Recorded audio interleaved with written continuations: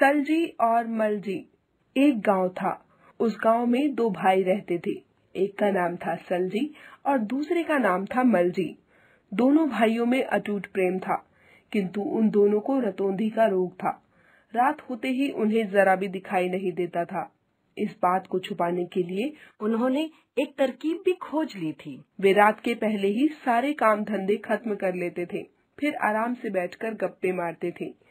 एक दिन वे दोनों भाई अपने ससुराल रवाना हुए। दोनों भाइयों का एक ही जगह विवाह हुआ था। दोनों ने सोचा कि दिन बीतने के पहले ही ससुराल पहुँच जाएँगे। इस कारण उन्होंने बैलगाड़ी को तेज चलाया। ससुराल की सरहद पर पहुंचकर उन्हें ध्यान आया कि ससुराल दिन में नहीं जाना चाहिए, इसलिए उन्होंने अपनी गाड़ी के बैल खोल दिए। दोनों भाई एक पेड़ के नीचे बैठ गए और चिलम पीने लगे। दिन बीत गया।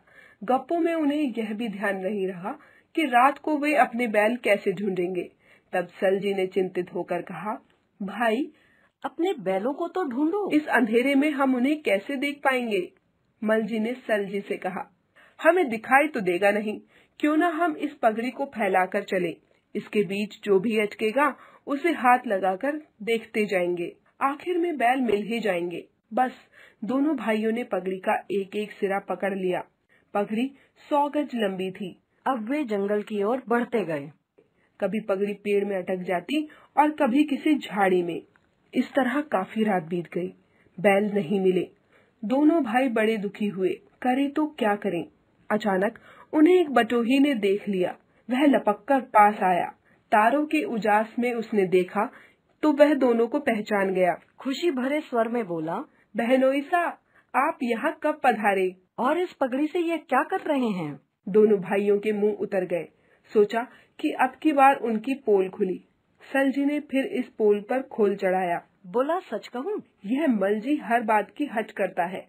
यह कह रहा है कि यह खेत अस्सी हाथ का है और मैं कह रहा हूँ कि सौ हाथ का।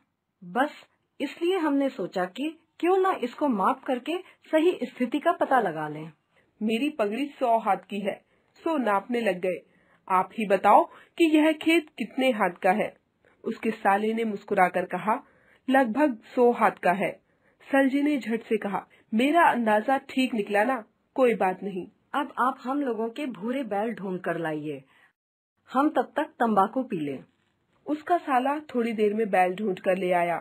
उन दोनों की सवारी बड़ी धूमधाम से ससुराल पहुँची।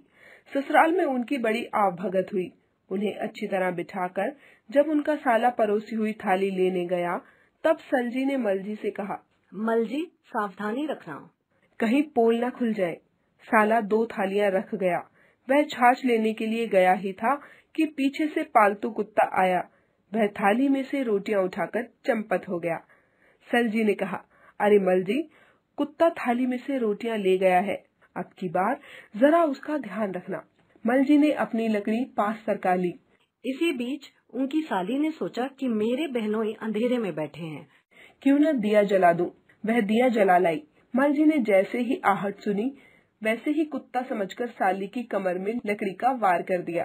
साली चीख पड़ी अरे मैं मर गई रे मेरी कमर टूट गई रे। उसका रोना सुनकर घर वाले भागे आए। साले ने आश्चर्य से पूछा क्या बात है? सलजी ने तुरंत बात को संभाला। यह मलजी एकदम मूर्ख है। इसको कई बार समझा चुका हूँ कि ससुराल में जब भोजन करते हैं तो साली के शरीर से सिर्फ़ लकड़ी का स्पर्श कराते हैं, पर यह बावला करारी चोट मार देता है। यह तो हम दस्तूर करते हैं। भोजन कर चुकने के बाद वे दोनों घर से बाहर निकले। दरवाज़ा छोटा था। मलजी आगे आगे चल रहे थे। जो ही दरवाजे के पास गए, त्यों ही चौखट से सिर जा टकराया। मलजी सिर पकड़कर रोए। मर गया रे। साला भाग कर आया। पूछा क्या बात है? सलजी ने हंसकर कहा बात कुछ नहीं है।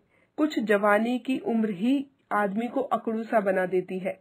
दरवाज़ा छोटा और अकड़ मोटी सो माथा जा टकराया। चोट तो नहीं आई?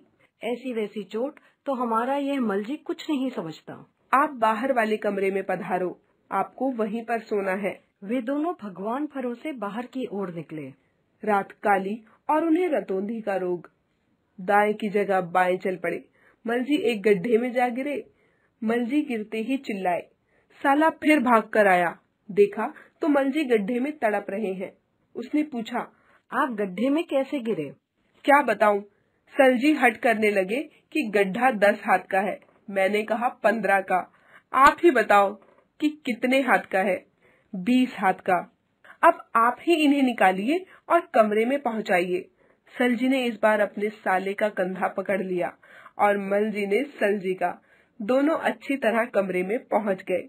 दोनों ने सोने से पहले ईश्वर को धन्यवाद दिया।